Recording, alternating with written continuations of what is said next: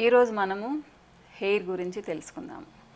జనరల్గా hair loss అనేది ప్రతి ఒక్కళ్ళ నోటి నుంచి వచ్చే మాట ఈ రోజుల్లో. అది యూనివర్సల్ ప్రాబ్లం అయిపోయింది. ఏ ఒక్కరు కూడా నాకు జుట్టు చాలా బాగుంది చాలా చక్కగా పెరుగుతుంది ఊడడం లేదని చెప్పేవాళ్ళు ఉండరు అనమాట అంటే చూడండి ఎంత సివియర్గా ఉందో. హెయిర్ అంటే అందరికీ చాలా ఇష్టం కూడా. ఎందుకు అంటే మనకు సగం అందాన్ని ఇచ్చేది జుట్టు. ఒకప్పుడు ఏంటి అంటే ఫార్టీ ఫిఫ్టీస్లోకి వచ్చేటప్పటికి హెయిర్ ఫాలింగ్ ఉండేది. సో అది ఏజింగ్ ప్రాసెస్లో ఒక పార్ట్. కాబట్టి దాన్ని ఈజీగా తీసుకునేవాళ్ళు. కానీ ఈ రోజుల్లో చూడండి చాలామంది పిల్లలకి టీనేజర్స్కి ఇంకా చెప్పాలి అంటే టెన్ ఇయర్స్ నుంచే హెయిర్ ఫాలింగ్ స్టార్ట్ అవుతూ ఉంది. అది కూడా ఎలా అంటే విపరీతంగా. ఇక అబ్బాయిల్లో అయితే సిక్స్టీన్ సెవెంటీన్ ఇయర్స్ వచ్చే లోపల బాల్ హెడ్ వచ్చేస్తూ ఉంది. అలానే ఫ్రంట్ కూడా హెయిర్ ఊడిపోతూ ఉంది. సో అబ్బాయిల్లో జనరల్గా వాళ్ళ హార్మోన్ వల్లే వాళ్ళకి హెయిర్ లాస్ ఎక్కువగా ఉంటుంది. ఇకపోతే అమ్మాయిలకు కూడా ఫ్రంట్ చాలా ఎక్కువగా హెయిర్ లాస్ ఉంటుంది. సో ఈ హెయిర్ లాస్ గురించి దిగులు పడేవాళ్ళు చాలామంది ఉన్నారు. కానీ మీ డైట్లో కొన్ని చేంజెస్ చేసుకుంటే లేదా మీ అలవాట్లు కొంచెం చేంజ్ చేసుకున్నారు అంటే తప్పకుండా మీ హెయిర్ని మీరు కాపాడుకోవచ్చు. ముఖ్యంగా ఏంటి అంటే చాలామంది పేరెంట్స్కి అవగాహన ఉండదు. వాళ్ళ పాప లేదా బాబు మంచి ఆహారం తీసుకుంటున్నారా లేదా? అంటే అందరూ అనుకోవచ్చు మేము చా మా పిల్లలకు చాలా మంచి ఫుడ్ పెడుతున్నాము అనేసి. అంటే చాలా కాస్ట్లీ ఫుడ్ కూడా పెడతారు. కానీ దాంట్లో ప్రోటీన్స్ ఉన్నాయా లేదా అనేది చాలామంది పేరెంట్స్ గమనించుకోరు. ఎవరైతే హై ప్రోటీన్ డైట్ పిల్లలకి ఇస్తారో వాళ్ళ జుట్టు నిజంగా చాలా హెల్దీగా ఉంటుంది. ఇకపోతే సెకండ్ థింగ్ ఏంటి అంటే ఐరన్ అనీమియా ఇది అమ్మాయిలో చాలా ఎక్కువ ఉంటుంది. ముఖ్యంగా మెచ్యూర్ అయిన తర్వాత అంతో ఇంతో బ్లడ్ లాస్ ఉంటుంది.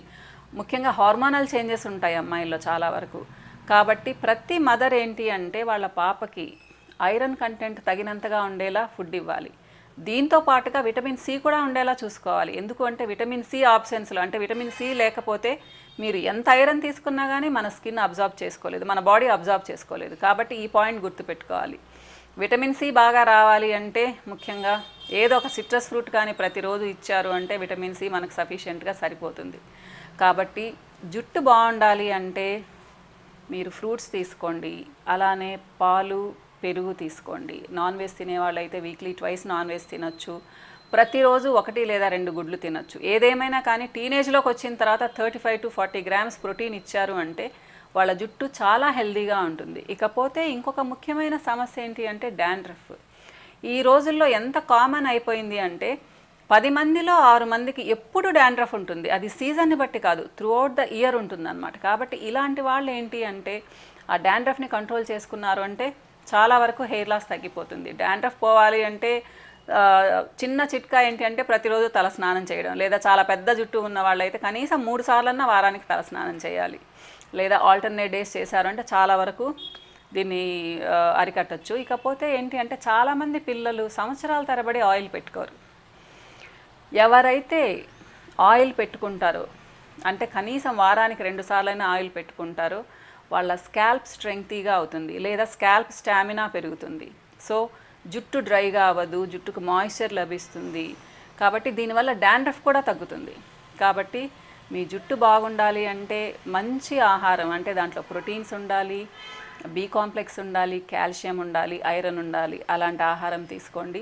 అలానే ఏంటి అంటే రోజు మార్చి రోజు లేదా వారానికి మూడు సార్లైనా తల స్నానం చేయండి. అంతేకాకుండా డాండ్రఫ్ లేకుండా చూసుకోండి. అన్నిటికంటే ముఖ్యంగా చాలామంది డ్రయర్లు పెట్టుకుంటూ ఉంటారు. చాలా ఎక్కువగా పెట్టుకుంటూ ఉంటారు డ్రయర్స్. సో ఈ డ్రయర్స్ ఎవరైతే ఎక్కువగా వాడతారో వాళ్ళకి ఏంటంటే స్కాల్ప్ డ్రై అవుతుంది ఆటోమేటిక్గా హెయిర్ కూడా డ్రై అవుతుంది. కాబట్టి జాగ్రత్తగా ఉండండి. సో మీ వెంట్రుకలు అందంగా ఉండాలి అంటే ఈ సలహా పాటించి చూడండి. చాలా చక్కగా ఉంటుంది మీ జుట్టు.